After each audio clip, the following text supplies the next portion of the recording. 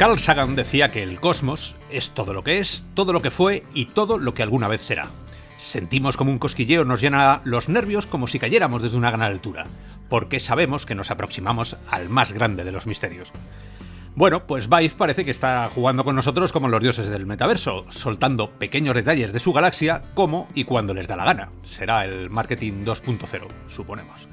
Bienvenidos, Robianos, a esta hora virtual, que es la. Ramón, ¿qué número es? ¿La 14, 15? La 13 ya. La 13, bueno, está muy bien. Rodeados de muchas noticias y, como siempre, de mm, bueno, muchísimas cosas que contaros. Y vamos a intentar que esto no se nos vaya de aquí a la eternidad. Para intentarlo hoy contamos con sello CPR. ¿Qué tal, Hugo? Hola, buenas, Robianos. ¿Qué tal? También contamos con Harold Ramón, el hombre noticia. ¿Cómo estás? Muy buenas, ¿qué tal? Venga, y además hoy os traemos a un invitado de honor, nada más y nada menos que el director de desarrollo, David Cano, del estudio Sumalab. Tú, David, como en tu casa virtual. ¿Qué tal estás? Muchas gracias, ¿qué tal? Perfecto, bueno, a mí ya me conocéis, soy Oscar, soy NOP 2001 y así comienzan las andaduras por estas estepas del metaverso formato podcast.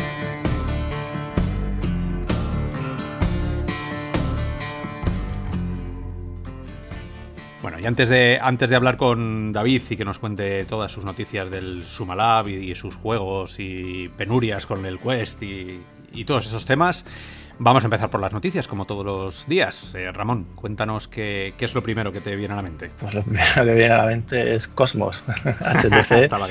que, que precisamente acaban de anunciar algo aquí mientras que estamos grabando y es ese vídeo que han puesto nuevo con más detalles acerca de, de la ergonomía y en el que se ve también que tendrá pues dos conectores, bueno, como es normal, el USB y lo que parece un HDMI o DisplayPort al ordenador. Y es que desde el viernes pasado, pues HTC ha estado mostrando poco a poco detalles. Uno de ellos fue ese añadido de la carcasa nueva que introduce dos cámaras adicionales, elevando de las 4 a ahora hay 6, con lo cual tendrá posicionamiento inside out con 6 cámaras que bueno, como sabéis Oculus Rift S tiene 5, pues tiene 4, pues imaginamos que tendrán mayor cobertura. Y luego otra de las últimas características que revelaron, que fue ayer, es el tema de la resolución, que monta paneles LCD con matriz de sus píxeles RGB de 1440 x 1700, que son 100 píxeles más de, de, la vertical que los que tiene, por ejemplo, Vive Pro, que es 1440 x 1600, o que, por ejemplo, Valve Index. Con lo cual, pues bueno, sí que es verdad que, que tiene más resolución y, y, según comentan, también las lentes ofrecen mayor nitidez que su Vive original. Que vale, que, es verdad que Vive desde que lanzaron eh, su primer episodio, pues han estado mejorando las lentes. Como sabéis, incluso las de VF Focus Plus también mejoraba el tema de, del glare. Y, y nada, y siguen ahí, ya tenemos esos detalles. Yo no sé vosotros ¿Qué os parece estos añadidos de seis cámaras, eh, esa resolución? ¿Lo veis, la veis correcta? A la altura de, de, las circunstancias. ¿Quién empieza a darle? Empieza tú, sello, que luego yo me caliento pronto. Se te calienta el labio, Oscar. pues a mí mm, me llama mucho la atención el visor. Eh, soy de ese tipo de gente de que sí me entra por los ojos el visor, sin tener tampoco muchas especificaciones en la mano y, y que poco a poco, con cuentagotas, pues cada semana nos van, nos van metiendo pinceladitas ¿no? de lo que será el, visor, eh, eh, la versión final del visor. Pero es verdad que me llama mucho la atención el, el, tema este modular, ¿no? Y bueno, esto que en un principio parecía que iba a tener menos cámaras, ahora tiene seis. Eh, también en un principio parecía que no iba a tener no iba a traer audio, también le puedes meter un audio, bueno, un tipo de audio. Eh, bueno, lleva, lleva sus auriculares integrados de serie, ¿eh? que no. O sea, que no los tienes comprado aparte. Sí, sí, por eso te digo, pero que son, son demontables, se montan, se desmontan. Bueno, que es en realidad es ese visor modular, ¿no? Que, que parecía a priori. Eh, la clave es la de siempre qué precio va, a tener este visor. Bueno, ahora entraremos un poquito a discutir sobre ello, pero ¿qué, precio creéis que podrá tener este visor? Esa es la clave. Bueno, yo, es que antes, antes del precio, antes de, de marcar el precio, que es verdad que condiciona casi todo lo que vemos en la realidad virtual a nivel de usuario, empresas es distinto, como ya sabemos, pero a nivel de usuario es, es, una cosa muy extraña, ¿no? O sea, primero, es un visor para usuario, ¿eh? recuerda. Sí, sí, bueno, pero es un visor para usuario que si, que si es de usuario con precio de, de empresa, pues eh, empezaremos mal, ¿sabes? Que es algo que, que HTC se le da fenomenal. Matar el hype a base de, euros, ¿no? Entonces, bueno, vamos, vamos a. Vamos a ver, porque sabéis que en Real Virtual nos gusta hablar con datos. Todavía los pocos datos que tenemos eh, se resumen en un vídeo del Cosmos girando 15 mm. vueltas sin parar, cosa completamente surrealista que yo no lo había visto nunca. Me dan, no sé si, no sé si, si, abrazar al, al, que ha hecho el marketing o ponerle una demanda, porque esa es, un, es un equilibrio muy raro, por eso el marketing 2.0 no terminamos de, entenderlo. Mm, luego la mano esa así como fantasmagórica que aparece y arranca la tapa, ¿sabes? Para dejar dentro una, una, una amalgama de, de, texturas, no sé, es, es, es algo algo muy de Matrix, ¿no? Porque, porque en realidad no es nada, o sea, podían haberlo hecho exactamente igual de plano. ¿no? Pero, pero, pero como que quieren llamar la atención de que hay unos cuadraditos que salen, unas aberturas, mm. para, para, que luego podamos decir algo en los podcasts y tirarnos un mes y medio diciendo, pues esto, como, como pasó con, con Valve. ¿no? Tiene, tiene una abertura, ¿qué podrá ser? ¿Qué podremos meter? ¿Podemos meter un, un Leap Motion? No, no, no, no, un USB. Esto es, parece que tiene como mil cosas dentro del, visor, ¿no? Eh, las cámaras son un poco un poco sobrada. Yo a nivel de desarrollo, y esta pregunta quizás sea la primera que, le voy a hacer a David comprometida, eh, si tú estás en un proyecto y te, y te vengo y te digo como, yo qué sé, director técnico del proyecto, y tú eres el director de toda la empresa, y te digo, con cuatro cámaras creo que lo hacemos mal, pero alguien ha metido cinco, le metimos seis, y tú sabes que tienes las fábricas a tope ya, que estás trabajando, porque, a ver, Cosmos no se lo sacan de la noche a la mañana, ¿Tú tomarías la decisión de parar la fábrica por lo que te digan, si te viene alguien y te dice el tracking no funciona como yo creo, necesitamos seis cámaras, pero tenemos cuatro? ¿Tú paras las máquinas y metes dos más? Hombre, si no funciona el tracking, algo hay que hacer. Imagino que sí. Si no funciona el tracking, teniendo en cuenta la, la competitividad que hay en este mundo y que se está desarrollando muy rápido, o sea, aquí el tema es llegar el primero. Claro, pero no llegamos los primeros. O sea, en nuestra empresa esta que tenemos tú y yo, David, ahora mismo no llegamos los primeros. Entonces, eh, vamos a ir al mercado a hacer algo que, que bueno, no, no hay cuatro cámaras, podía ser la quinta, ¿no? Pero, pero quieren ir a seis. También se supone que es más caro que los demás, entonces tienen que dar más calidad. Es que. yo es que, si os acordáis, ellos siempre han vendido Vive bueno, toda la gama suya de visores, como, como el tracking premium o el, o el visor premium, ¿no? Y si de hecho, si os metéis en la página de, de Vice Cosmos, lo primero que leéis es que se trata de un visor premium. Con lo cual, yo creo que ese, esa, esa cámara adicional con, respecto a RIFS, que bueno, es prácticamente tiene la quinta cámara va arriba y la sexta va hacia abajo. Eh, yo creo que lo hacen también por eso, ¿no? Por, por luego poder decir que es el que siguen teniendo un tracking premium en el sentido de que, tiene mayor cobertura que Rifese por esa cámara adicional, ¿no? Y ahí es donde un poco seguramente, pues, o sea, más caro que Rifese, yo creo que todos estaremos de acuerdo que lo más seguro es que lo sea, ¿no? Esos 449 euros no creo que, de pronto lo anuncien, oye, que sería genial, ¿no? Que, imagínate que tuviera el mismo precio. Pero, pero viendo cómo está la historia de HTC es complicado. A ver, el, tema de los radiadores y todo lo que todo el, frontal este que, parece un camión em, indica o parece indicar que si tiene tanta ventilación es porque dentro tendrá algún proceso, porque si, si eres un, unas pantallas porque sí no se calientan lo suficiente como para tener, eh, cuento aquí por lo menos un, dos, tres, cuatro aberturas distintas por donde puede salir el, aire caliente, con lo cual pensamos que tiene que haber un proceso. Si, si lleva proceso interno, estará basado o puede estar basado en un Snapdragon. Si está basado en un Snapdragon y le puedes quitar en un momento dado el cable y tirar millas cambiando de, formato, o sea, arrancando a lo mejor un Android como hace Quest, bueno, estamos hablando ya de un visor que tendría lo mejor de ambos mundos, ¿no? Un, no creo que Quest sacara un 8 un 835, ¿no? O sea, iría ya un 845, un 855 me da que es imposible porque no sé si ni siquiera están en, proceso de, darlo a las fábricas. Pero si tiene un 845, porque esto hilar para el tema del precio. Si tuviera un 845, tuviera un tracking muy bueno, los mandos pesaran lo que tienen que pesar, o sea, sensación premium, y tienes un DisplayPort que en el momento en el que lo quitas salta, hay un, no sé, un, script que lo que hace es cambiar el modo y se va Android. Y ahora os digo que vale 700 euros. ¿Cómo os quedáis? Yo creo que sería un gran visor, vamos, y, arramblaría con bastante parcela del mercado, porque este es lo que dices tú, Oscar, que puedes eh, ir a caballo entre los dos mundos, entre los visores de PC de, alta gama y entre el mundo standalone, y con una hipotética 855 o una 845, pues encima en, un rango mucho más premium que lo que eh, tenemos hoy en día.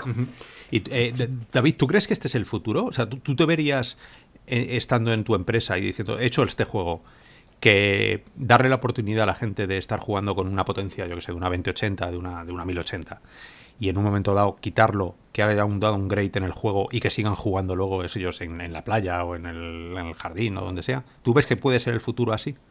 Yo creo que sí que es el futuro. La movilidad siempre ha sido muy importante. Siempre ha habido consolas eh, móviles y tú no te puedes llevar un ordenador con una 1080, bueno, sí puedes, yo tengo un portátil con una 1070 y funciona, pero es mucho mejor llevar las gafas y tienes que montar mucho menos lío, eh, es muy cómodo, la verdad. Es que eh, vengo de probar las Oculus Quest hace poco y la verdad que aunque los gráficos son peores, pero la sensación es muy buena y, esto solo puede ir a mejor. yo entiendo que el futuro más que depender de un ordenador, va a tirar más por el formato de las Quest eh, algo individual que algo conectado a un ordenador, según vaya mejorando la tecnología. o sea que tú estás, estás dentro del, de la religión de Carmack, ¿no? Que él, ya decía desde el principio momento. Y, Luca, Luca Mefisto también, un compi que ha estado por aquí alguna vez, decía: ¿la realidad virtual será móvil o no será? Efectivamente, sobre todo si con la experiencia de, antes, de al principio, cuando probábamos con las HTC, que tienes que hacer la instalación de de los eh, de, los equipos estos negros que para sí, sí, sí. Eh, todo lo que había que liar para hacer realidad virtual que, era bastante lío bastante lioso. Luego siempre tienes que andar si, si, no tienes un espacio claro en tu salón tienes que sacar la gafa enchufar los cables mm, en fin que es muy complicado. En cambio con las Quest tú lo coges y si lo habéis probado es muy cómodo te defines el área con un láser y es muy rápido y es muy, muy cómodo. Entonces, bueno, las cosas sí que es verdad que son gráficamente, les falta un poquito, pero mm, todo puede, solo puede ir a mejor todo esto. Entonces, eh, yo creo que va a ir por ahí en los tiros. O sea, que un visor que le dé un poquito más de, de cancha a los desarrolladores, como todo parece indicar que va a ser que va a ser Cosmos, sería una buena sería una buena noticia de todas maneras, estamos hablando por hablar, porque claro, luego esto le quitas el cable y se apaga y no se enciende porque, porque no tiene nada dentro, pues eh, o necesitas un móvil. Yo lo del móvil, a mí no termino de, entender la potencia del móvil. Porque... Yo es que creo que va a ir más por ahí, más que meterle integrado dentro, sino lo, que ya enseñaron, ¿no? Ese móvil que lo conectarás seguramente por USB-C y tendrás por la potencia que te dé el teléfono ¿vale? Que la optimización, todo lo que hay por detrás, está claro que no es lo mismo, pero, pero vamos, a menos que lo hayan cambiado porque están cambiando cosas como estamos viendo del anuncio de enero, yo creo que irán por ahí. vamos a hacer una pequeña encuesta de los que estamos aquí, los cuatro que estamos aquí, que nos gusta la tecnología.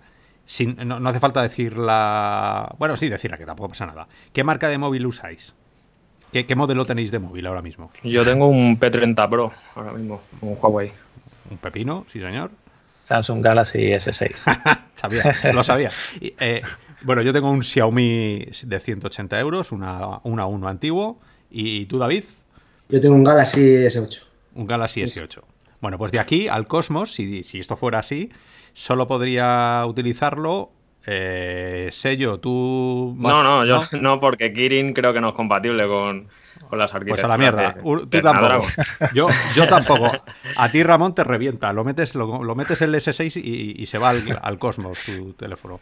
Y David, a lo mejor tú con el S8 eh, podría, podría tener chicha. Pero bueno, ¿cuánta gente tiene un teléfono de alta, alta, alta gama para poder comprarse un visor de alta, alta, alta gama y luego comprarse un ordenador también de alta, alta, alta gama para poder no, estamos a lo mejor se nos ha ido un poco. Pero esto viene, esto viene ahora, ya sabes, la realidad aumentada, todo va a hacer que lleguen ese tipo de visores y saques partido de tus móviles y los móviles que salgan más adelante, pues irán, ahora mismo los que tenemos, pues, pues no son compatibles, lógicamente, pero con el tiempo, ¿no? Pero la, aumentada... como con Daydream. Claro, no, no, no, lo sé. David, ¿has, probado ARKit? ¿Habéis estado jugando con ARKit o con tipo frameworks de AR? Eh, que sí, que hemos probado ARKit eh, y la verdad, por lo que hemos visto hace, bueno, lo probamos hace como seis meses o así, está un poquitín verde todavía lo que es el tema de la detección del mundo, ¿vale? Un poquitín verde por ARKit o igual por la tecnología que usábamos, pero, pero bueno, eso irá mejorando. Todavía no, lo vemos como algo que podamos usar nosotros, porque nosotros somos muy pequeños y tenemos unos recursos limitados, pero, pero irá mejorando y ya, ya, le, ya le sacaremos rendimiento.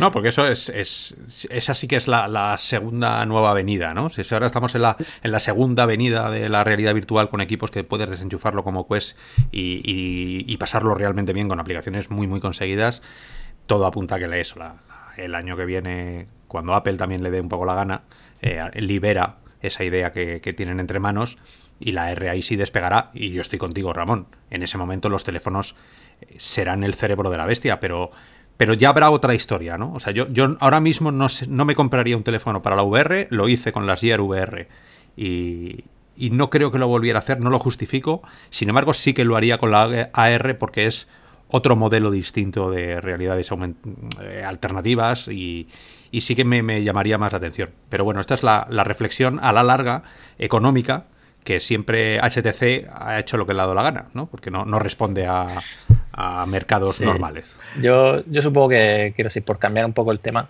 que ya, ya iremos hablando una vez que HTC vaya soltando más cosas y tengamos más chicha para hacer ya un, que sea el tema principal ¿no? de, del programa. Pero bueno, solo que aparte de eso también han dicho que va a 90 Hz, por lo cual es lo que teníamos, o sea, quiero decir, lo que lleva ofreciendo Vive desde, desde el principio, ¿no? Los 90 Hz, en lugar de, como ha hecho Oculus, de bajar a 80 con Rift. Y, bueno, ya como decía, iremos conociendo esta semana más cosillas. Así que, bueno, espero que una de ellas sea el precio también pronto. Y en principio, Vive Cosmos llega en septiembre, en el tercer trimestre en principio. Así que bueno, pronto sabremos más y espero que también podamos probarlo. Y hilando con, la realidad aumentada, pues comentar que, por ejemplo, Oculus ya ha anunciado la Connect 6, que es la conferencia para desarrolladores, que vuelve a hacer en septiembre. Y en este caso han comentado que se acerca un nuevo capítulo de realidad virtual y aumentada. Que hasta ahora, por ejemplo, si te vas al año pasado al mensaje, no, no mencionaban la realidad aumentada. Y como sabéis, Oculus, pues desde principios de año han estado contratando bastante gente, han hecho una división específica para impulsar el tema de realidad aumentada y parece que, que esta Connect pues será la protagonista y podría llegar eso que hablamos de los teléfonos, que yo creo que, que también podría ir por ahí los tiros de, de lo que haga Oculus ahí. Y en esa Connect también, solo por decirlo también, que no se nos olvide, parece ya que por fin también sabremos más del desarrollo que está haciendo Respawn, ese shooter en primera persona, que es un triple A. Bueno, llevan dos años desde que lo anunciaron, en 2017, así que, que a ver con qué, con qué nos sorprende. Pues seguro que se lo va a pasar muy bien Abras, ¿no? Cuando, cuando, porque a Abras siempre estamos con, con esta broma que le sacan una vez al año. O sea, el tío está en su laboratorio y una vez al año para la CONET le, le, le, le dejan, le abren las puertas para que se aire el hombre y, se lave el pelo, ¿sabes? Y salga ahí. Eh, le, ponen encima del escenario. El tío nos da una clase maestra de dónde estamos y dónde él cree que vamos a estar en unos años. Que eso, si no le conocéis, eh, bueno, no, sé qué estáis haciendo aquí escuchando, porque es el, es el dueño y señor de la realidad virtual. Lo que él dice va a misa, nunca mejor dicho, por encima que Carmack. Y yo tengo muchas ganas de saber qué es lo que tiene el tío guardado en la recámara de su laboratorio respecto a la AR, que es su juguete. O sea, si todos aquí tenemos un, algo que nos gusta mucho, nuestro FETEN, pues eh, lo suyo es la realidad aumentada, que lo ha dicho muchísimo, ¿no? El, L cuando estaba en Vive ya eh, le gustaba la realidad aumentada, estaba haciendo allí realidad aumentada, solo que imaginaros, hace 8 o 9 años cómo debía ser la realidad aumentada. O sea, el, proyecto North Star este debía ser pequeño para, lo que tenían antes. Y ahora ya empezamos a ver los frutos. Y seguro, seguro que tiene, tiene algo muy, muy, muy preparado, algo muy chulo que nos va a dejar con ganas de, muchísimo más. También estoy convencido que dirá como el Half Dome. Esto es un proyecto, esto estamos trabajando, quedaros ahí a la espera, porque no os preocupéis que lo sacaremos en algún quinquenio de estos, pero es una buena noticia que... Bueno, es una buena y además eh, una noticia que tenía que ser sí o sí. igual que hace unos años que no tuviera VR estaba fuera del mercado, si ahora no tienes AR y en un año no tienes AR, también estás fuera del mercado. Y eso Zuckerberg no lo va a permitir. Entonces, bueno, con muchas ganas, muchísimas ganas. Este año va a ser, va a ser especial, a ver septiembre qué nos depara. Yo, espero que, sea algo ya que van a que van a sacar, ¿sabes? Tipo cuando como cuando cuando Quest, ¿no? Que Santa Cruz, que no me salía el nombre, estaba pensando ahora cuando dijeron lo de Santa Cruz, ¿no? Pero bueno, ya, ya veremos cómo va el tema porque sí que es verdad que, que, por ejemplo, hay analistas que están, bueno, que de hecho han dicho que, en el primer trimestre de este año han crecido los envíos de visores, tanto de realidad virtual como realidad aumentada, y hablan de que a final de año los de realidad aumentada pues deberían volver a, bueno, no crecer mucho, pero sí porque se acercan eh, lanzamientos de consumo, como el tema este de en Real Light, las gafas estas que parecen pues, unas gafas normales de sol. Así que, bueno, también son buenas noticias que los visores pues los envíos sigan creciendo y aumenten más de un 20 y pico por ciento respecto al, mismo trimestre del año pasado. Y, según comentan, han sido 1,3 millones de envíos de visores, de los que el 90 y pico por ciento son de VR y, una gran parte de, consumo, que no, no solo de desarrollador, ¿no? ni, ni empresa ni profesional. Y David, si a ti ahora mismo te dicen que viene la AR y que tienes que olvidarte de todo, tienes que empezar otra vez de cero, ¿Te lanzas a la piscina o, crees que, es para muy largo? Um, yo creo que es que a nosotros nos gusta hacer videojuegos. Eh, sí que hemos hecho aplicaciones, experiencias de, realidad virtual y seguramente, o sea, para empresas, y seguramente no tendremos que hacer algo de realidad aumentada. De hecho, mucha gente nos lo pide no mucha gente, sino que hay gente, oye, eso de la realidad aumentada, le decimos, mm, déjalo, que eso todavía está un poco verde, porque lo hemos probado y no, y no nos vemos capaces de hacer algo con la suficiente calidad como para presentarlo. Eh, yo creo que todavía falta un poquitín. De todas maneras, eh, lo, que, como lo que, lo que os comentaba antes, en la Quest, por ejemplo, cuando tú haces la selección del área de juego, ahí estás utilizando realidad aumentada. O sea que lo tienen muy bien hecho y eh, en Quest lo tienen muy bien calibrado. Así que igual nos sorprenden cuando muestren lo que tienen hecho la gente de Oculus. ¿Tú has, llegado a jugar al, juego este, ¿cómo se llamaba? El juego de HoloLens, el, uno de Microsoft nativo en, realidad aumentada. no, no he jugado. ¿El de los robots de la pared? No, no, no, no, no, ese no, ese no. Ese es, eh, lo diré, lo diré, lo diré. Es, un juego que tenía, que, que, a mí me dejó alucinado. Estaba aquí en la habitación, me pongo las HoloLens y le y aparece un holograma, pero holograma de verdad, o sea, no de verdad, eh, en medio de la habitación, toda mi habitación se convierte en la escena del crimen y el, bueno, el, holograma me empieza a, seguir por la habitación contándome que, que, me fije mucho en los detalles de cómo había habido un asesinato en la misma habitación. Me pareció... Em, a ver, estaba...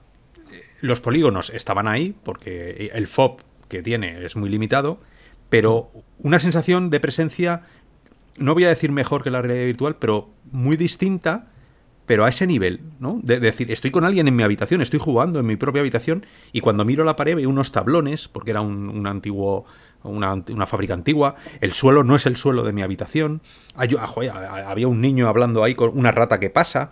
Eh, si mejoran un poquito el FOB, es muy interesante como juego, ¿no? El, como, como narrativa interna, el, posicionar al jugador en un espacio que conoce y transformarlo. No es tan llevarle a otro sitio como la realidad virtual. Sí, sí, puede ser. Es que nosotros, no, la verdad que no hemos ido por ese camino todavía, entonces, claro, no se nos han ocurrido cosas. Sí que nos ocurrió, por ejemplo, otro de los juegos que tenemos, que es el Trainer, de hacerlo con realidad aumentada. El Trainer es el juego, es como juego del Ikea de trenes, ¿no? De pues claro, con realidad aumentada está muy claro. O sea, es, jugar en tu habitación con los trenes de madera sin tener que recoger después. Entonces, eh, Eso es. Mira, el juego se llama Fragments. Echarle un ojo, si alguna vez echarle un ojo. Se llama Fragments, eh, muy, muy bien hecho y además, hasta donde yo sé, las herramientas La narrativa cambia, pero las herramientas al final son, son casi las mismas. O sea, tienes, tienes un Real, tienes Unity, cualquier motor lo puedes sacar para realidad aumentada. Lo único que tienes que saber es que los negros es falta de información, porque no, no en unas gafas no puedes mostrar eh, los negros, no existen, ¿no? Es, transparencia. Entonces ahí bueno, se, abre una puerta a, millones de historias posibles. Pues si os parece, antes de entrar al tema, vamos a hacer un pequeño repaso a, los juegos sin meternos muy a fondo, pero sí que merece la pena porque hay unas cuantas noticias interesantes. Eh, y bueno, pues arrancando con ellas, por ejemplo, que Quest esta semana, este mismo jueves, recibe ya por aquí, pues Richie Plank Experience, Pen and Teller, que hablamos en el programa anterior, Sirento and Tether VR, que es un juego, digamos, diferente, que no es, exactamente el mismo board de PC, lleva cinco niveles específicos. Luego también llega Fuji, también la experiencia Ana Frank House VR, que también estaba en, Rift y Go y Gear VR. Y luego, pues en julio llegará Republic VR, que es una, bueno, una adaptación que hicieron de, un juego que era ya. Sí, muy divertido, muy divertido, sí.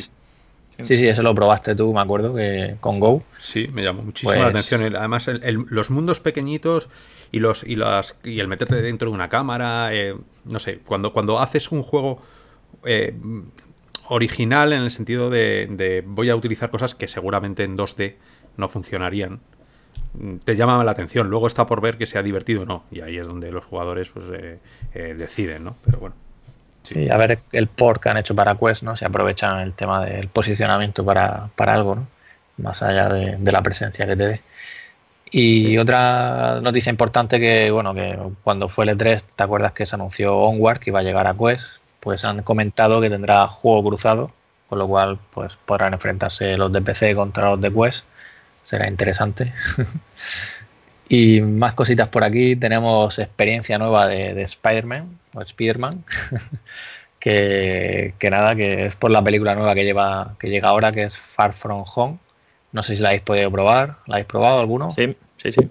Yo también la he podido probar un rato. La verdad es que ha sido antes de que arrancáramos el programa y no me ha dado tiempo a, a terminarla. no, porque yo he jugado por defecto y te pone un pedazo de viñeta o para Blinder, si los conocéis de otra manera, es la, lo que te cierra el FOV y vamos, es que no ves casi nada. Es o sea, es más exagerado que cualquier otro juego que he probado antes.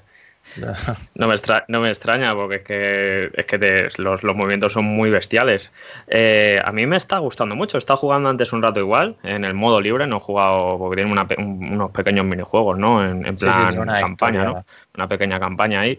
Pero está jugando en el modo libre y me llama mucho la atención el poderse dar una vuelta por Manhattan rodeado de edificios y, creerte Spiderman. O sea, es que eso es lo que queremos y la lástima es que se quede en una experiencia. Eh, ojalá en el futuro veamos juegos de, este nivel, ¿no? de este calibre. Y, es que si ya podemos ver en una demo eh, un mundo tan grande, bueno, a priori, eh, como Manhattan, ¿no? lleno de, edificios y ir paseándote y, recorriendo las calles ¿no? de esta manera como hace Spider-Man, es una verdadera pasada. A mí, desde luego, lo poco que he probado me ha gustado bastante.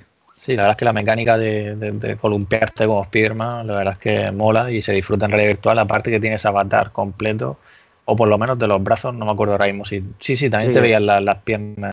Sí, sí, también. Me acuerdo que iba saltando y podía mirar. Yo, en, yo solo me veía los brazos. Luego me he visto el cuerpo cuando he intentado probar el modo campaña, que te ves reflejar en un espejo. Ahí sí me he visto el cuerpo, pero en el resto es que tampoco me fija mucho. Cuando me he visto los, los, pies así, cuando iba que te, enganchas en una pared, o sea, de un edificio, ¿no? Y ha sido al girar con, con, el giro gradual de. Bueno, yo lo he probado en PlayStation VR, ¿no? Y, y había un momento que me he visto los pies, no sé si ha sido algo raro, no, no, no sé, es que como lo he probado rápido, pero bueno, quitando los gráficos que estaban un poco limitados, que se notaban que eran bastante básicos, ¿no? yo no sé si ahí te ha parecido bien, pero a mí los gráficos me han parecido un poquito limitados.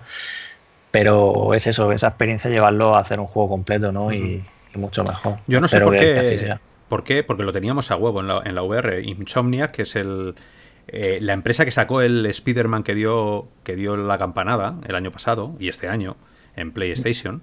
Eh, no, en VR, sino el, Insomnia que además tenía el, Edge of Nowhere, que es un, que es un pedazo juego de esos primeros que salieron que nos atraparon, tipo Chulu. Eh, bueno, pues eh, que esa gente con su buen hacer decidiera meterse en el proyecto de Stormland, que también apunta a que va a ser un gran juego, pero teniendo ellos ya los assets, teniendo los las mecánicas, teniendo el feeling que le habían cogido a ese super a ese Spider-Man, perdonar, tan salvaje que estaba que ha roto ventas y ha recaudado todo lo que y más, ¿cómo no decidieron ir en paralelo, ¿no? Y sacar un sacar un juego Spider-Man. No digo con esto que, que no tenga que ser el gran juego que todos esperamos, ¿eh? pero que, parece mentira que en un estudio donde, no sé, seguramente tú lo, en, vuestro, en vuestro estudio, David, también se tiende a ello, que es a reutilizar sí, sí, claro. ¿no? partes, partes que ya tienes hechas, porque, oye, pues, tienes que rentabilizar el proyecto eh, y, utilizar los assets cuanto más mejor y bueno. Entonces, eh, no sé, ¿a vosotros os choca esto que Insomniac no decidiera del salto con un Spider-Man teniéndolo todo en la mano? yo, claro, mm, el problema que veo yo, que claro, que el Spider-Man es un juego maravilloso gráficamente, es bestial, y claro, llevar eso a realidad virtual es imposible por limitaciones técnicas. Entonces, mm, a lo mejor si hubiesen hecho otro juego, desmerecería con el original de Spider-Man y a lo mejor han decidido no hacerlo o están esperando a que haya una mejor tecnología para hacerlo. es mi, eso es lo que yo pienso.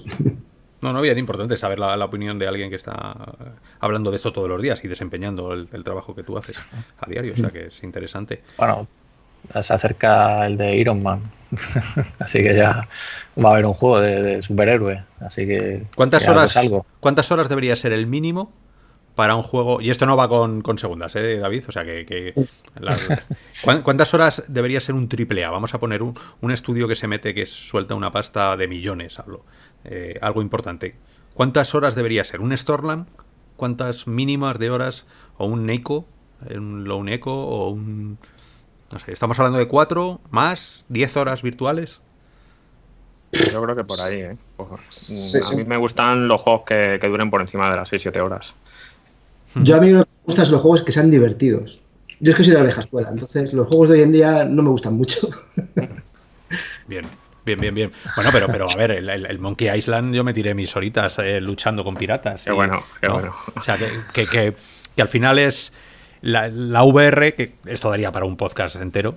Eh, ¿Cuántas horas de inmersión necesita la VR siendo inmersiva como es? ¿no? Que a lo mejor una hora de VR podría generar una inmersión parecida a las cinco horas de, de monitor. Pero eso no sé. Pues... Es más cansado, la VR es más cansado que jugar en un monitor, mm, pienso yo. Entonces, y yo creo que para el cerebro es bastante más cargante la realidad virtual que, un monitor. Entonces, eh, no puedes, eh, desde mi punto de vista, hacer un juego para que alguien esté metido cinco horas jugando seguidas no tiene sentido, porque, porque no, no, se puede físicamente con eso. Entonces, bueno. Pues, a ver, simplemente mencionar que por aquí tenemos también Defector que llega el 11 de julio a Rift. Eh, bueno, la experiencia que hemos dicho de Spider-Man está en PC y en PlayStation VR y es gratis, o sea que probarla si tenéis visor.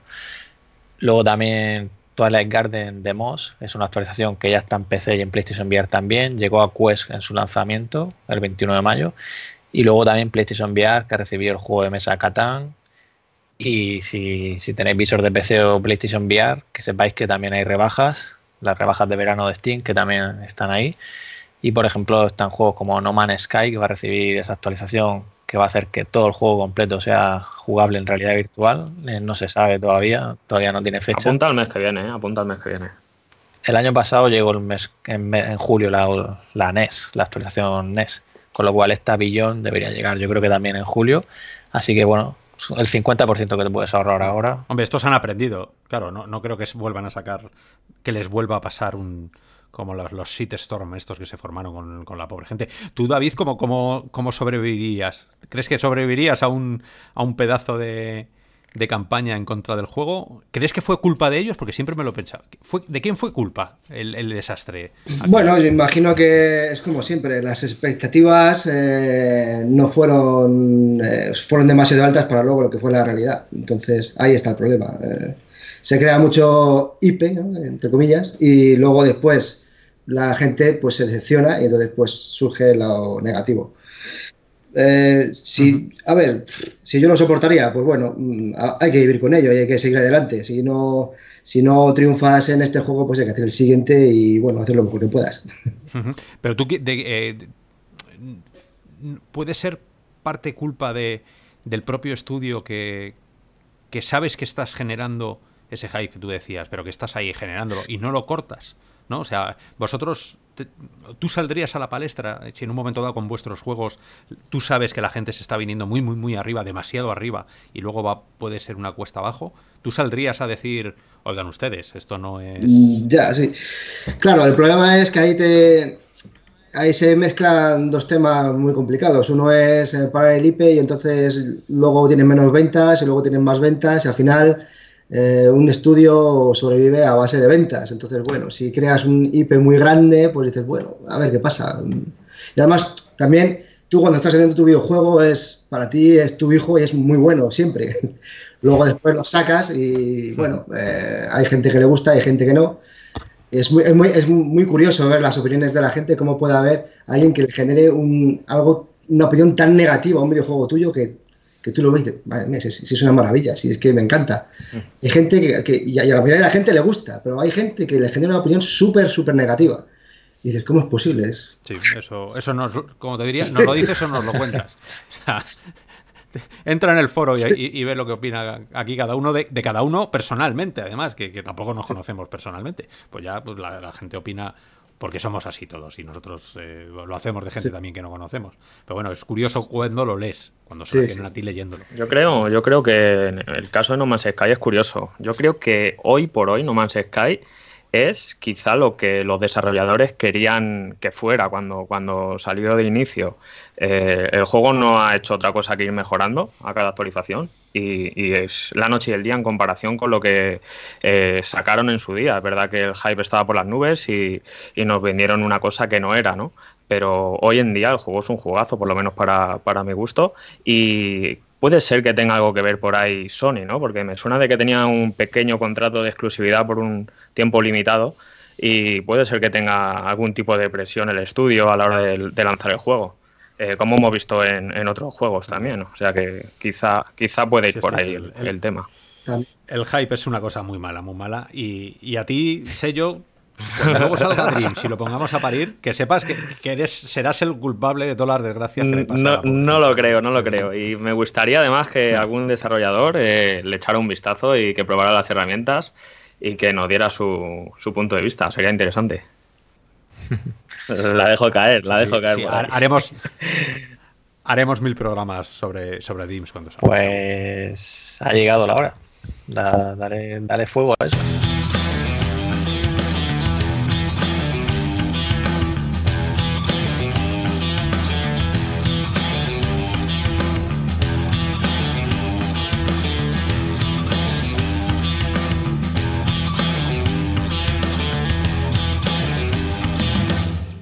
Bueno, pues como, como veníamos comentando al principio, y en la presentación hemos hablado de él, también le habéis escuchado opinar sobre las noticias, tenemos al director de desarrollo de Suma Lab, estudio español, David Cano, aquí con nosotros para contarnos cómo está siendo el tema central de su juego estrella, el Uber Reach, que, bueno, la, segunda parte... Mm, sale, sale en breve, estamos todavía desarrollándola. hemos puesto, nos hemos puesto la fecha límite de otoño, un poco así, aunque otoño es largo, eh, pero, pero bueno, esperamos sacarlo, sí, sí, eh, para otoño sacar la, segunda parte. Genial, es interesante comprobar y, eso sabes que como analistas y como jugadores todos lo, os, lo, vamos a, poner un poco en la lupa, cómo es realizar un juego, desarrollar un juego, conociendo el primero.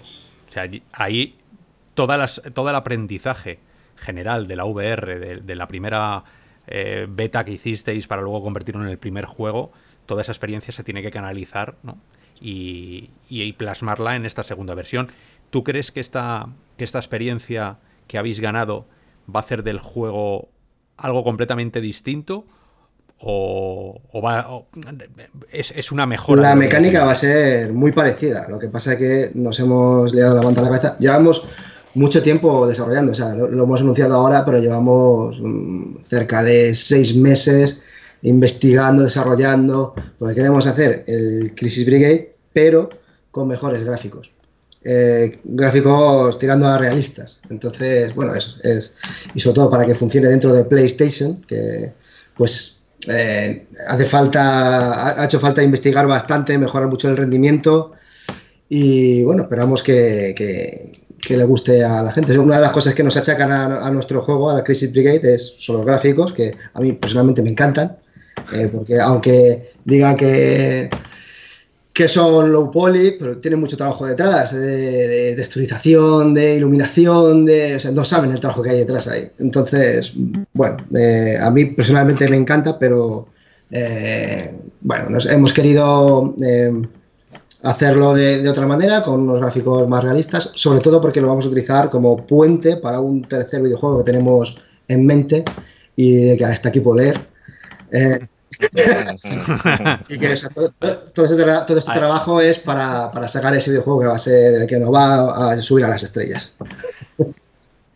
¿En qué, plataforma? Pues en principio como, como el Crisis Brigade, en Steam, en PlayStation y si nos dejan en Oculus Quest y si podemos, porque Oculus Quest, pues como sabéis, pues es bastante limitado y con los gráficos todavía le tenemos que apurar un poco, tenemos que mejorar el rendimiento y no sé si llegaremos a Oculus Quest, pero en PlayStation seguro, ya las pruebas están hechas, llevamos el desarrollo bastante avanzado y vamos, lo tenemos muy avanzado. Ya, aparte de que has dicho que las mecánicas serán iguales, eh, ¿alguna otra historia que, vas a compartir? Porque quiero decir, estáis trabajando todavía en Crisis Brigade, en el tema de meterle cooperativo, hmm. también queréis lanzar una nueva misión. Eh, la verdad es que me, trae mucha curiosidad de, cómo, o sea, cómo vais a integrar el cooperativo. ¿Vais a hacer algo especial o por el tema también de, los, de cómo te mueves o, cómo vas a hacer los cambios? El cooperativo va a ser, va a ser como, como jugar eh, en solitario, pero tus compañeros, en vez de ser, eh, en vez de ser bots, van a ser tus amigos jugando o la gente que se conecte a tu partida. Entonces, sobre todo es interesante para porque, bueno, la gente se queja de que es difícil el juego. Yo no creo que sea tan difícil, solo hay que tener un poquito de paciencia. y, pero bueno, para aquellos que les resulta muy difícil el tener un compañero humano o dos compañeros, el juego va a ser, va a poder jugar tres a la vez. Eh, teniendo dos compañeros humanos va a ser mucho más fácil eh, acabar las misiones. Entonces, eh, bueno, en el 1 vamos a integrar también el juego cooperativo y cuando saquemos el 2 lo vamos a sacar completo, ya con las tres misiones, con el cooperativo, espero, porque el cooperativo lleva un poco más de trabajo, estoy en ello. Em, eh, pero cuando lo saquemos para PlayStation, por ejemplo, va a salir con las tres versiones. Para Steam lo sacaremos con la primera, con la primera misión y lo, sacaremos en el Access y, lo iremos ahí eh, mejorando y con, el feedback de, la gente, que es muy útil siempre en Steam. La gente es muy, muy maja, en general. Sí, sí, sí, sí, damos fe de ello. Eh, una, una, es que justo al hilo, que antes lo estábamos hablando fuera de micro, cuando has dicho que el juego va a ser difícil, ¿crees que los juegos de ahora son mucho más fáciles de lo que eran? No sé, yo tengo 43, de cuando yo tenía 15, 16 años. ¿Crees que los juegos se han ido haciendo más fáciles para tener más ventas o para que la gente se frustre menos? Eh, clarísimamente. No sé, últimamente si has jugado a juegos, eh, ahora mismo siempre tienes un checkpoint para grabar. Yo, tengo 40 años, yo juego a juegos de Spectrum. No sé si habéis jugado alguno al Camelot Warriors o algo similar, o al Army Moves. Eh, sí, sí, sí. o sea, empezabas el juego, mm, te pasabas la primera pantalla, estabas en la segunda, te mataban y volvías al principio del todo. Sí, yo es que, mira, en, virtual no he tenido todavía. Bueno, no, no, nunca. No he tenido la misma sensación de querer tirar el mando y atravesar la pantalla que tenía en 2D. ¿Sabes? y es verdad, eso, eso, eso que al final es una frustración de jugador, que es lo que te hace mejorar y lo que te hace engancharte a un juego. En, en, VR, no ya en 2D, pero ya ni siquiera en VR, eh, no te dan ganas de, estampar a nadie. No te dan, quiero decir que no hay frustración. El Superhot, no te hace repetir, ¿eh? super hot, pero super hot, super hot es, eh, es muy amigable en el sentido de, que sabes muy bien. O sea, eh, yo en super hot nunca me he sentido perdido. Que es como me he sentido, yo que sé, últimamente, el último juego, pero que esto es de hace un par de años, tres años, de Witness, ese sí que era para arrancarme los, los, pelos uno a uno, porque era de puzzles y, y, había momentos en los que no sabías ni qué narices hacer. ¿No? Y eso, de pronto ahora es como en el cine americano, ¿no? Todo se explica. En los juegos últimos todo se explica, todo tiene que estar muy ordenadito, el jugador no puede tener un momento de desasosiego, no vaya a ser que, que deje de jugar.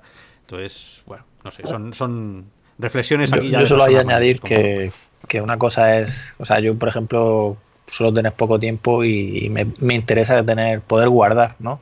Pero no por hacerlo más fácil, sino porque me tengo que ir, ¿sabes? Y entonces digo, es que si tengo que empezar luego todo, todo de nuevo, ¿no? Eso es un poco... Pero sí, entiendo, ¿no? pero entiendo el punto de vista que, que compartís. Pero, pero, ya no solo, ya no solo el, punto de guardar, sino que además es que son fáciles. O sea, sí, Que, no, que no es una dificultad muy grande, no sé. Eh, eh, por ejemplo, he estado jugando hace poco, hace una semana al Robo Recall, que no lo había jugado todavía. Y, no sé, eh, también es de tiros, pero, pero no tenía una sensación de peligro, porque claro, me daban un tiro, bueno, mando un tiro, no, veo que pase gran cosa, al final te matan, pero bueno, no sé, mm, eh, eh, como que está todo hecho, eso, lo que dices tú, para, para no frustrar al jugador, para que el jugador no deje de jugar, pero bueno, yo creo que hemos perdido algo bonito, ¿no? Que a mí sí que me gustaba y, frustrarme, no es que me guste frustrarme, pero sí que me resultaba divertido y, me hacía sentir mejor porque mejoraba yo como persona. Digo, esto, esto lo hago yo porque puedo hacerlo. Y al final me pasaba el juego y me sentía muy bien. Hoy en día, bueno, sí, te pasas un juego de 10 horas, pero es una película interactiva que, oye, que lo gráficamente es alucinante, eh, pero no sé, a mí, a mí particularmente no me gusta. Pero bueno, yo soy un, yo, soy un, un, jugador que no soy un jugador normal, yo soy de, la vieja escuela y me gusta me gustaba ir a los, eh, a los recreativos a jugar y en fin, los juegos de hoy en día ya te, no, no me llenan, no me llenan. A mí, a mí sí, a mí sí, yo sí he tenido esa experiencia de, querer tirar el mando eh, en referente a lo que has preguntado, Oscar. Eh, uno es con Just in Time, que es un juego muy del estilo gráfico de, de Crisis Brigade.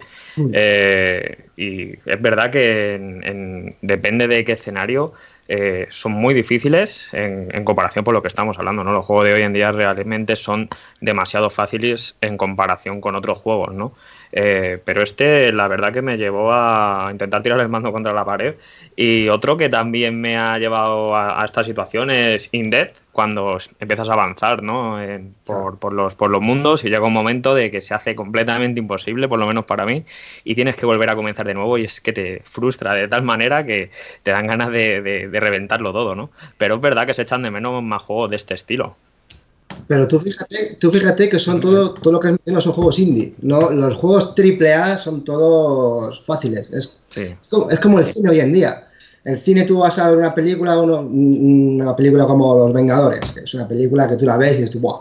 Peliculón, eh, unos eh, alucinante, gráficamente bestial pero, pero le falta ahí guion, le falta. Pero, bueno, es lo que la gente quiere, ¿no? La gente quiere acción, acción, acción, no diálogo, no, no, no, no me cuentes una historia. Eh. no, sé, tú ves una, película, yo que sé, tú ves La Guerra de las Galaxias, voy a poner, y tú la ves hoy en día, y claro, gráficamente, o sea, la, ve un chaval hoy en día y dice, esta película, ¿qué, me, estás, qué me estás mostrando?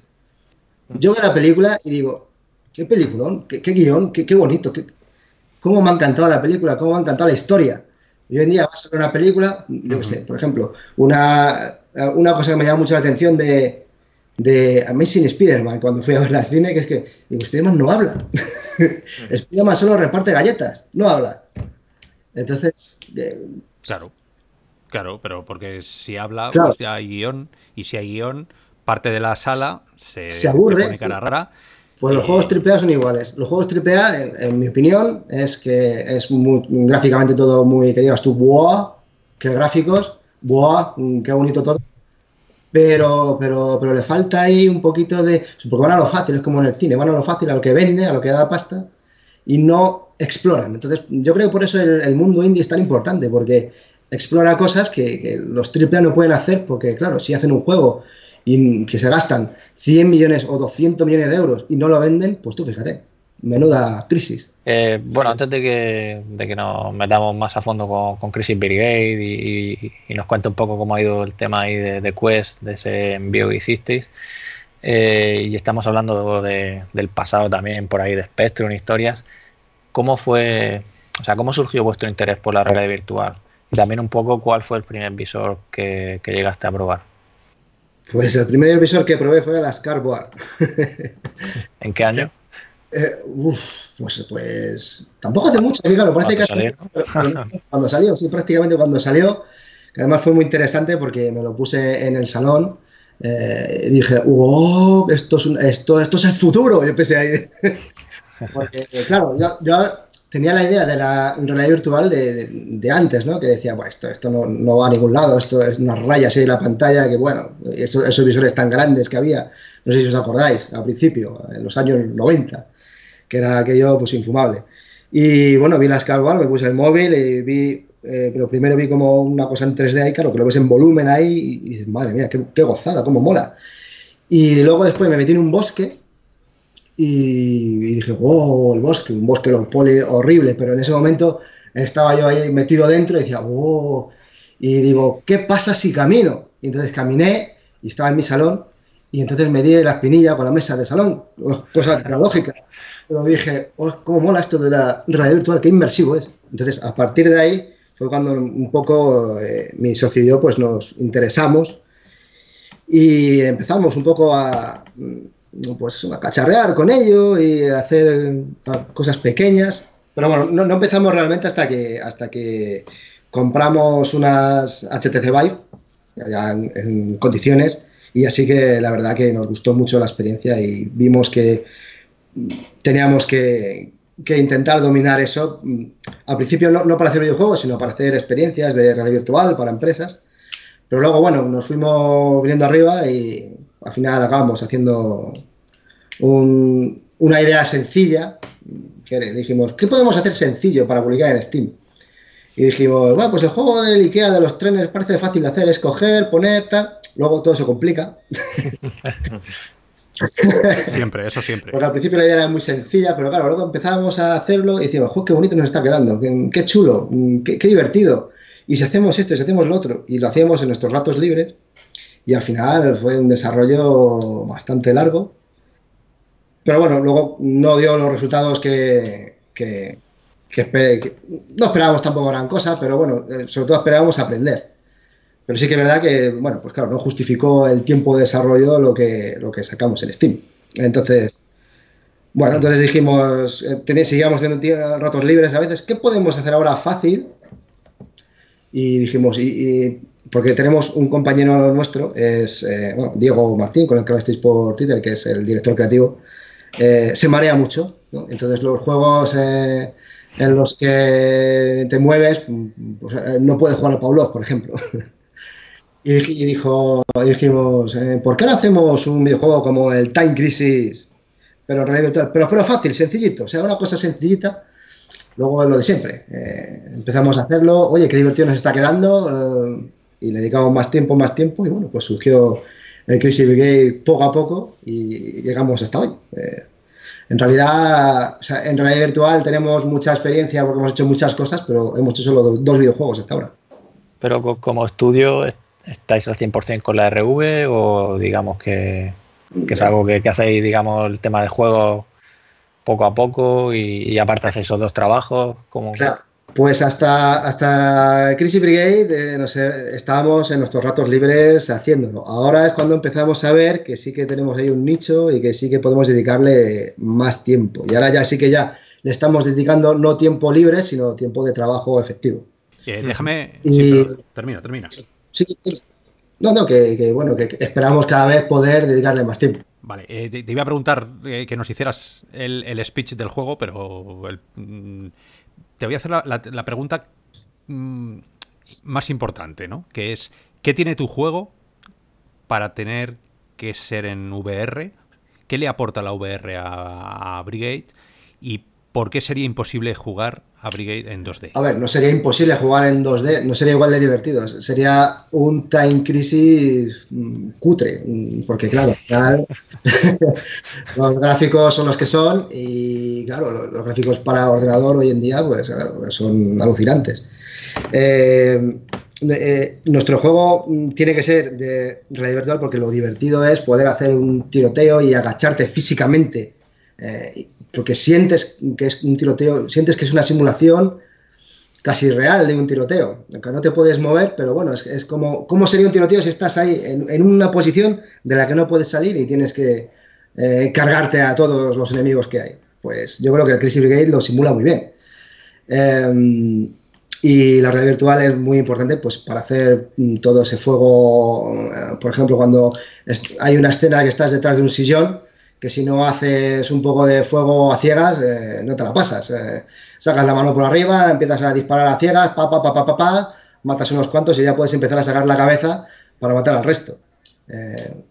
yo, en realidad virtual es muy divertido y en un ordenador, pues habría que tener un botón para esconderse y sería pues como un Time Crisis, pero bueno, ya existe el Time Crisis. Entonces, y no existe un Time Crisis en VR, para eso está el Crisis Has comentado hace un momento de, de, bueno, de quizá Trainer VR en Steam no funcionó como tenéis pensado, pero luego lo llevasteis a PlayStation VR, aparte mm. sacasteis Crisis Brigade, ha llegado a PlayStation VR también, y bueno, aunque no digas unidades vendidas, pero sí a lo mejor puedes compartir qué tienda os ha funcionado mejor o que, no sé, lo que tú nos puedas contar, si hay algo que nos puedes contar, claro. hombre, os puedo decir que PlayStation ha funcionado mejor. Mucho mejor. Bastante mejor. bueno, pero es, natural, ¿eh? O sea, todo, no te preocupes que todos los desarrolladores con los que hablamos, PlayStation VR es la, es la plataforma favorita en cuanto a ganancias. ¿eh? O sea, eso es así y, y no sé si eso va a cambiar a corto plazo. O sea, que que es normal. Claro, el problema que en Steam hay también eh, mucho donde hay mucho contra lo que competir, hay un océano de videojuegos y en cuanto sales de, las novedades, si tu juego no se ha vendido muchísimo, eh, desapareces. Entonces, ahí en Steam es bastante difícil. Lo que pasa es que Steam es muy útil porque te ayuda mucho a desarrollar tu videojuego. Es como una muy buena plataforma de pruebas. Además, la gente es muy amigable y enseguida te da feedback para mejorar el juego. Y yo creo que Steam es una plataforma muy, muy importante para poder desarrollar, un buen videojuego para PlayStation. ¿Estás hablando siempre de, Steam? Eh, ¿Os ha sondeado? Eh, no, la verdad es que no. Oye, no. Y ya que has sacado ese, no. Viveport también. no, porque. Sí, sí. Y Viveport, sí. Es que más que nada por, por eh, la gente que, bueno, los, usuarios que nos estéis escuchando, robianos, eh, sabéis que cada vez que publicas un juego, las empresas de distribución, como pueden ser los portales, Steam, Epic, eh, todas estas que, como dice Ramón Byford, eh, te cobran un por ciento. ¿no? Entonces, ha habido una guerra y hay una guerra no declarada, por lo menos que los usuarios lo sepan, entre Epic y Steam para ver quién es el que cobra menos a los desarrolladores y quién lo hace mejor, ¿no? Entonces, eh, en la VR falta también esa, esa pequeña guerra comercial que al final creo que salimos ganando todos, ¿no? Por un lado los desarrolladores porque no se quedan las, em, las, empresas con, ese dinero que, sí que es justo a veces que se lo lleven, pero, pero que bueno, puede impedir que, algunos estudios indies eh, puedan hacer números finales, ¿no? Entonces, eh, por eso, la, pregunta iba un poco a si Steam, que te noto que lo, que lo, bueno, le das como una referencia, que es la referencia, si tú crees que en un momento dado se puede volver y se puede volver la tortilla y estar hablando que la VR llegue por un método mejor, más asequible para todos? Pues no lo sé, porque la verdad que la tienda de Epic eh, y echamos el formulario para intentar vender los juegos allí y nos dijeron que lo echáramos más adelante. Y bueno, pues todavía no lo hemos echado otra vez. Eh, no sé cuánto estarán vendiendo en Epic, en Epic pero mm, si se puede dar la vuelta a la tortilla, pues seguramente si surgiera una tienda que, que no desaparecieran los videojuegos, eh, seguramente los, desarrolladores eh, estarían mucho más contentos, porque sí que es verdad que es que en, Steam en cuanto pasas tu, mes de, estar en portada, la verdad que, desapareces, absolutamente. Y, tú ves los videojuegos que salen nuevos y la mayoría son bastante cutres, eh, no sé, bastante malos en general. Luego hay siempre muchas joyas muy buenas, pero yo creo que se pierden muchas joyas en Steam, muchas joyas. Y no lo digo por los nuestros, ¿eh? yo, otros juegos que, he jugado yo en Steam que no son nada conocidos y encuentras cada joya que es, que es alucinante. Pero claro, eh, imagino que para vender mucho hace falta un buen músculo financiero y claro, no lo tenemos. Por lo tanto, ¿crees que es buena solución? Hilando, sé que no estaba la... Ramón tiene todas las preguntas puestas, pero me voy a saltar alguna. Perdona, Ramón. Es que y, hilamos, hilamos muy bien. ¿Crees que entonces la solución es Quest? en la curación que se está llamando el, el, hijo, me pongo muy, muy nazi, por qué no decirlo, me pongo muy rígido con lo que sale para que no ocurra eso de saco un juego y a la semana se ha perdido en el éter. ¿Es la solución o es un extremo completamente al otro lado de lo que debería. No, sí, yo, entiendo muy bien lo que hace Oculus. Eh, ellos quieren videojuegos muy buenos, de mucha calidad, y no quieren que la tienda se llene como la de Steam. O sea, sí, entiendo, entiendo su. Entiendo por qué lo hacen. Eh, no entiendo por qué, eh, por ejemplo, a nuestro videojuego que lo, que lo rechazaron, lo rechazaron sin mirarlo. O sea, simplemente mandamos un PDF con un con unas imágenes y, el concepto, explicando el concepto del juego, que era lo que, era lo que se pedía, y lo rechazaron, igual que rechazaron To The Top, igual que rechazaron Pavlov, aunque luego por lo visto los han... hubo mucho barullo por esos dos juegos, en Reddit por lo menos, o en las redes sociales, y luego los han admitido, creo. creo eh, eh, sí, entiendo que lo de Oculus es... Eh, es se están pasando. ¿no? sé, no sé si se están pasando, hombre, yo, yo qué sé. Yo, yo creo que Chris Brigade tiene calidad suficiente como para, para entrar en Quest. Incluso el trainer, que también lo presentamos y también nos lo ha rechazado el concepto. El concepto. Eh, yo qué sé, que no hay ningún juego como el trainer en, el, en, Oculus. Y es un juego muy para Oculus. ¿Los, tenéis publicados en Oculus Store, en Rift? Eh, sí, sí, los tenemos publicados en, la Oculus Store, pero creo que en Quest no los han dejado. Entonces, yo no sé, yo creo que también a lo mejor lo que pasa es que la gente de, Oculus Quest, a lo mejor hay poca gente trabajando en el, proceso de, curación, entre comillas, y, y, bueno, pues a lo mejor tienen puesto el listón muy, muy, muy alto al principio y luego van a bajar un poco el pie. Mm, no sé. Pero sí, sí, yo creo que, yo creo que es, es, muy bueno, o sea, porque en Steam, la, en Steam la lo, único que te impide subir un juego es pagar 100 dólares, creo que es, o por ahí. Pero, sí, 100, 100 dólares, que estaba yo mirando esta semana. Pero puedes subir casi cualquier cosa. 100, pero ojo, 100, 100 dólares para todo lo que quieras, no son 100 dólares por juego. Son, 100 dólares por videojuego, te lo digo por experiencia. Ah, pues pensaba yo que era 100 euros de, compras como una puertecita de entrada y tú ya vas metiendo ahí. Porque, a ver, yo hay juegos que no, que, que, están por ahí flotando en Steam. Da igual que Steam o Steam VR. Que, que, luego los venden a 30 céntimos, eso los, como han podido pagar 100 euros, ¿para qué vas a estirar el dinero, no? Es que lo haces como, como ir a la universidad, voy a probar, voy a... Pero, pero estar ahí metiendo juegos y juegos por 100 euros... sí, sí, no, pues yo qué sé, pues alguien ha hecho un videojuego, es, lo que te digo, tú has hecho, haces un videojuego, tú piensas que es una maravilla, pues lo has hecho tú, es tu hijo y no, y no lo ves con ojos... Eh, eh, con ojos maliciosos. Y entonces, pues dices, bueno, pues lo subo a ver qué pasa, a ver si vendo mucho en Steam. Porque, claro, Steam es como la referencia y tú ves siempre las historias eh, de desarrolladores indies, siempre las exitosas. Tú no ves las malas historias, que subes un juego y vendes dos. Claro, claro, pero, pero es que yo he visto juegos, yo qué sé, Flappy Bear con una moñiga de perro flotando, ¿sabes? Ese tío ha pagado 100 euros, que es lo que siempre me ha sorprendido. ¿Tú crees que, no sé, claro, es, es, el mundo el mundo de Steam, que es eh, pues, un, universo completamente alternativo. Es el, mundo del pelotazo de hoy en día, de Internet. Cualquier cosa, haces una tontería y, puede reventar las ventas, pero, pero por, lo, por, lo, por lo que os digo, o sea, eh, es, como, es como la lotería. Eh, tú, yo qué sé, ¿qué ejemplo puedo dar? Por, ejemplo, ¿os acordáis cuando salió la página del millón de dólares? Que era un tío que vendía píxeles de la página, ¿por pues ah, pensar que esa idea iba a ir a ningún lado? Pues el tío vendió todos los píxeles y ganó un millón de dólares. Pues yo no sé. Sí, pero había, pero había un concepto detrás. O sea, igual que vosotros tenéis un concepto de juego detrás, eh, en Steam en VR hay, yo qué sé, 2000 y, y, me quedo corto. Ah, bueno, vale. No, no, iba a decir chorri, chorrijuegos, pero chorrijuegos de. Me he instalado Unity, le he metido tres assets gratuitos, le, sé, moverme con el, con el mando para levantar la mano, tras, juego. Pues eh, claro, mm, eh, yo entiendo la política de Oculus de vamos a hacerlo todo súper, súper cuidado pero a lo mejor un término medio, ¿no? Un término de somos profesionales, sabemos lo que estamos haciendo, tenemos un concepto de juego detrás, sabemos defenderlo en VR, bueno, pues tira, tira para adelante, ¿no? Ese es un poco el. Además, yo que sé, un videojuego que, que, hemos pasado el, proceso de PlayStation, que es súper duro para llegar a PlayStation. O un juego Eso es lo que te iba a preguntar, te iba a preguntar ya ahora. No sé, no sé por qué no, no es bueno para Oculus Quest. Pero bueno, eh, yo es lo que os digo. Yo supongo que en el futuro serán menos duros, tendrán menos trabajo, claro, les habrá llegado una avalancha de, peticiones. Y en el futuro imagino que, se pondrán menos duros. Quiero pensar.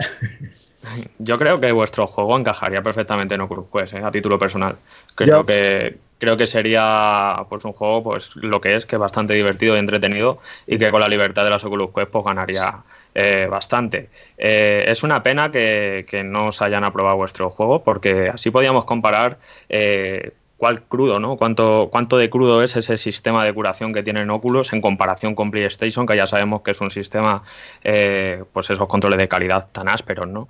Eh, que tiene. Es una pena porque hubiese estado genial que nos, que nos, que mm. nos arrojaras un poco de luz en este sentido. Sí, nos habría gustado, la verdad. O sea, la, verdad es que los controles de seguridad, los controles de calidad de PlayStation son muy duros, pero, son muy buenos. ¿eh? Y, además te ayudan a, a, mejorar mucho porque te ponen al límite. Es bestial. Eh, pero la verdad que fue una experiencia muy, muy buena. De hecho, nos costó, el, trainer nos costó publicarlo casi un año en PlayStation. Un año Y, eh, lo, que pasa, claro, ya con, lo que hayamos hecho del, del trainer, el Crisis Brigade, lo tardamos menos, tardamos, yo creo.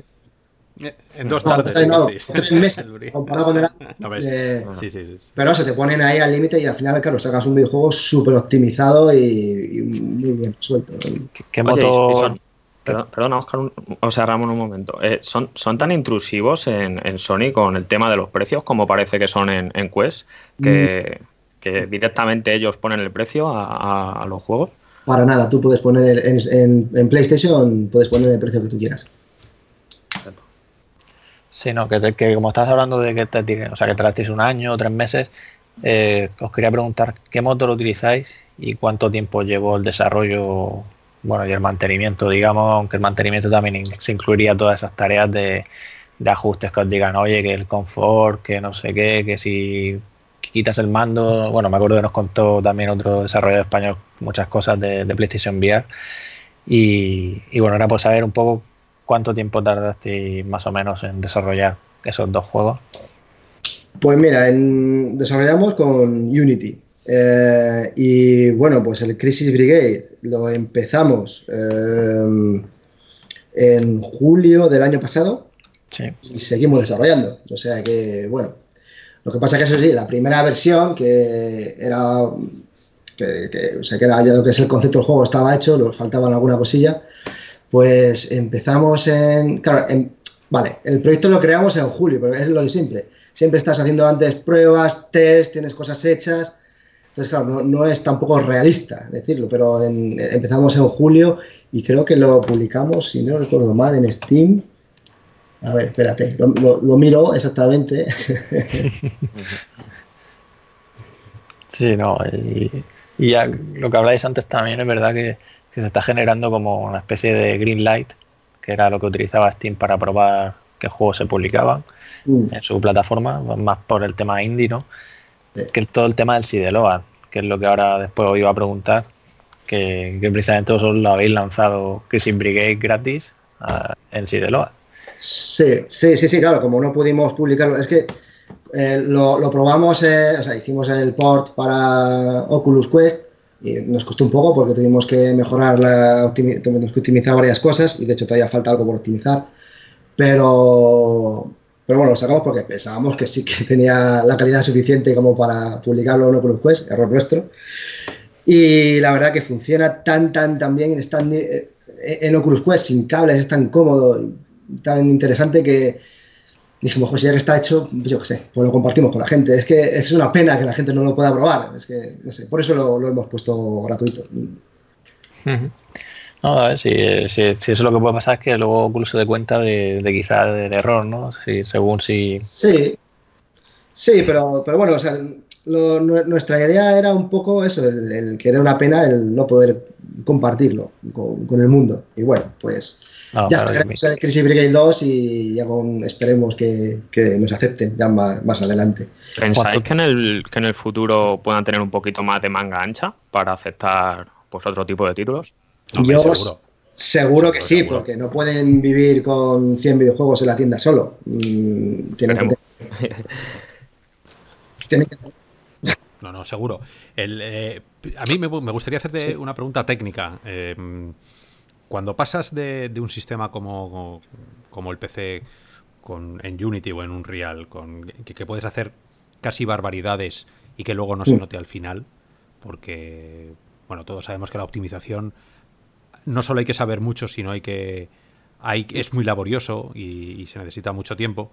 Em, cuando, has, cuando pasas a Quest, intentas meter ese juego que te has venido muy arriba, a lo mejor en las texturas que utilizan tres o cuatro materiales. Eh, eh, has estado haciendo, bueno, no, has vaqueado todo lo que deberías, porque qué más da el utilizar los light maps estos. Eh, sé que me estoy volviendo un poco técnico, pero, pero como también hay gente que, estudiantes también que, nos, que escuchan los podcasts, mm, ¿cómo lleváis el, paso técnico a Quest? ¿Qué, técnicas habéis utilizado o, qué, o dónde habéis hecho mayor enfoque? Porque aunque vuestras texturas del juego del, 1 sean más low poly.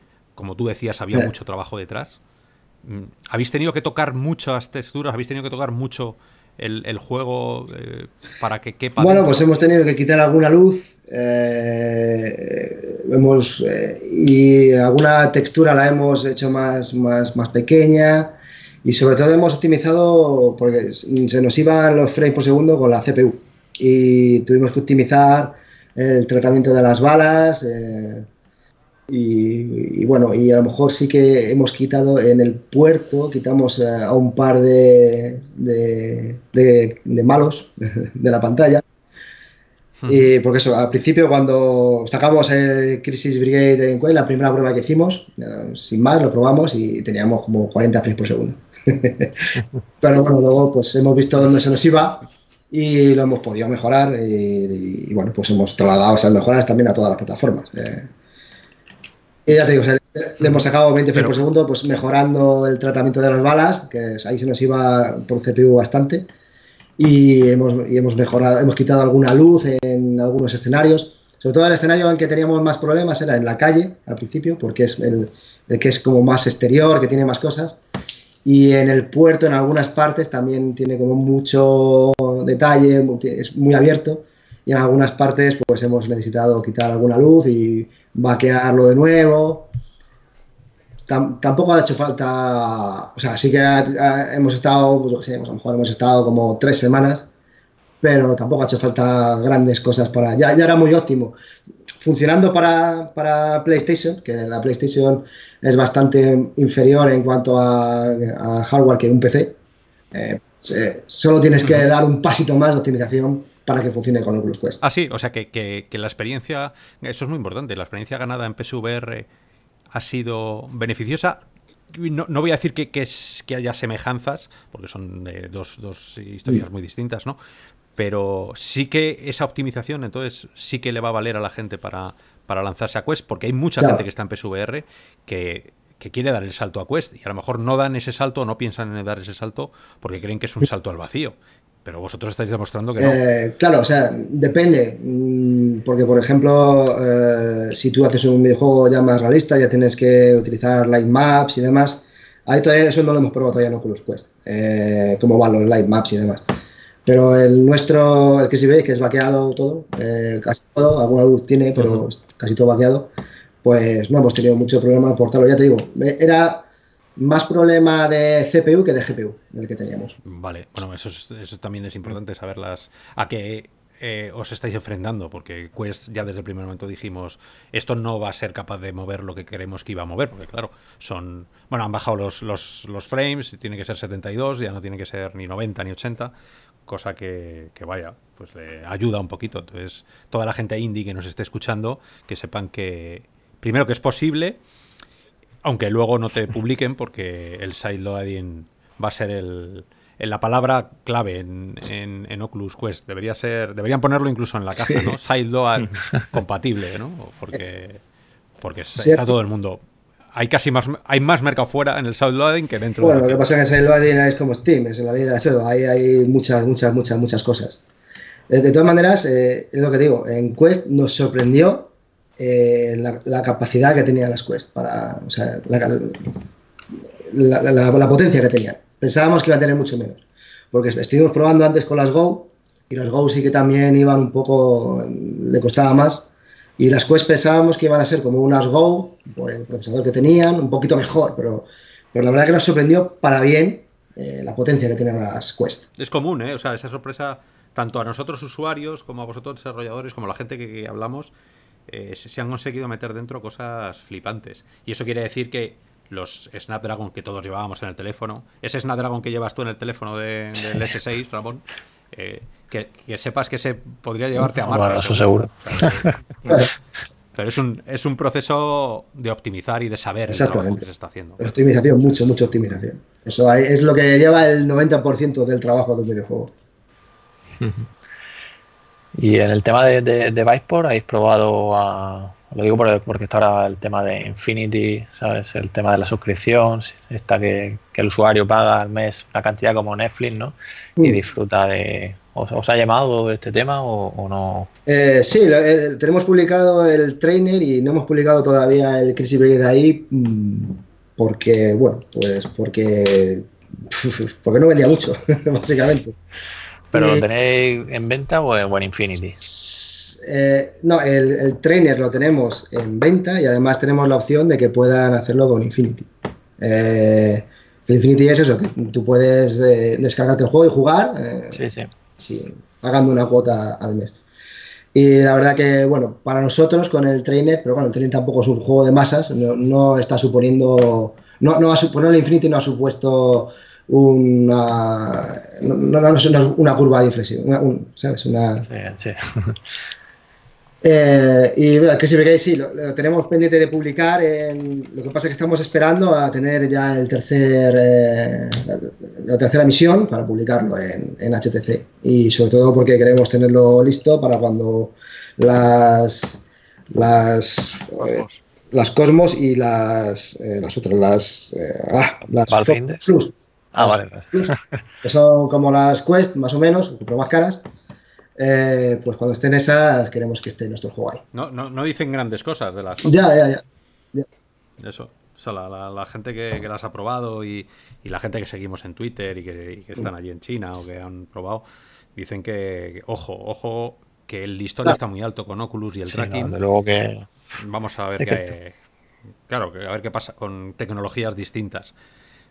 Pero bueno, todo tendrá su proceso de firmware. Sí, pero bueno, de todas maneras, nuestra política ahora va a ser eh, presentar los videojuegos en las tiendas eh, completos, no, como hemos hecho con el Crisis Brigade, que lo hemos ido a cachos. Solo, solo en Steam lo vamos a presentar en Early Access, que además está publicado como Early Access, para ir desarrollando el videojuego y viendo el feedback de la gente. Pero ahora mismo nuestra política va a ser publicar en las tiendas los juegos completos. Y por eso vamos a publicar el juego completo ahora en HTC. Pues nada, pues, pues yo creo que que bueno, no sé si tienes algo más que quieras compartir, algo que, bueno, ya. algo que no esté que no esté en NDA, que no te venga la mafia calabresa a matar mañana. Algo que nos puedas decir. Pues no sé, pues agradeceros la oportunidad de hablar aquí en este foro y nada, pues nada más, no sé. Mi primera entrevista en un podcast. Bueno, pues para, que veas que esto es venir a Real Virtual y los podcasts de la hora virtual es venir a hablar de VR, eh, a reírnos un poco, a algo distendido, divulgativo, porque las preguntas que te hacemos no vamos a pillar, pero sí que, que ya te digo que luego hay gente que, que nos escuchan de, muchos ámbitos distintos. Hay algunos desarrolladores que nos escuchan, hay alguna gente que está estudiando, chavales que están empezando, eh, hay usuarios eh, que les encantan los juegos. Entonces, bueno, dar la hora virtual trata un poco de eso, de, vamos a intentar llegar divulgando sobre la VR y sobre todo con buen rollo, ¿sabes? Eh, esto no, no, no Así que con esta música nos despedimos, Robianos. Una semana más aquí al pie del cañón, Ramón recopilando las noticias, Hugo y yo comentándolas. Hoy hemos tenido la suerte de contar con, con todo un director de desarrollo que, que, bueno, es muy interesante la experiencia interna porque es lo que nos da la visión muy específica de cómo está el mercado por dentro, ¿no? Cómo son los visores de verdad, que ellos trabajan con ellos, cómo está el tema de los de los de las tiendas virtuales, de se están vendiendo, no se están vendiendo. Eh, bueno, ya le hemos dado otra collejita a Oculus Quest para variar, porque hay mucha gente esperando y, y creemos que tiene que ser el o dicen que puede ser el visor que democratice ya la realidad virtual por fin. Entonces, bueno, por mi parte, Oscar No 2001, muchísimas gracias, Robianos, por estar ahí. Recordaros que tenemos un estupendo Patreon para que os apuntéis si os gusta la manera en la que os contamos las cosas y las horas y dedicación que les echamos.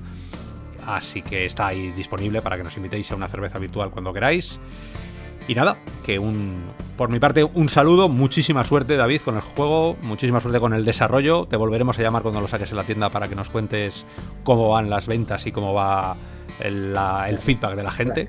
¿Vale? Sí, pero por mi parte igual, darte las gracias por estar aquí, David, y me alegro un montón de que sigáis adelante, que vayáis a hacer Crisis Brigade 2 porque eso es bueno de que al final puede funcionar y que la realidad virtual siga adelante. Y además que tenéis otro proyecto por detrás, como has dicho, del que ya, ya nos contaréis. Así que lo dicho, muchas gracias y vosotros, Robianos, igualmente por estar ahí. Y hasta luego. Hasta la semana que viene, Robianos. Hasta la próxima.